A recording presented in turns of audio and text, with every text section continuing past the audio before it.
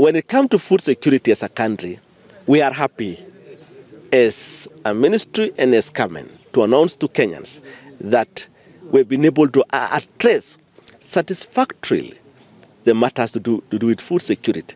Our factories have been able to meet the demand for, for the Kenyan population. We stand at 81 um, 81,000 metric tons per month, and our factory is able to produce, the four factories and the private sector factories are able to produce close to 75,000 metric tons per, per month, which is enough for, uh, for the local consumption. And we are happy as a sector, as a nation, to have addressed the matter very well. As we talk now, our consumption per, per, per month has changed from 4 million bucks to 7 million bucks.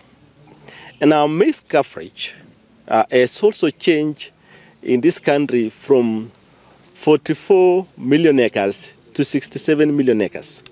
And last year alone, we were able to push to, to increase our maize production from 44 million kilos uh, uh, million bucks of 90 kilogram to close to 70 million bags of 90 kilogram.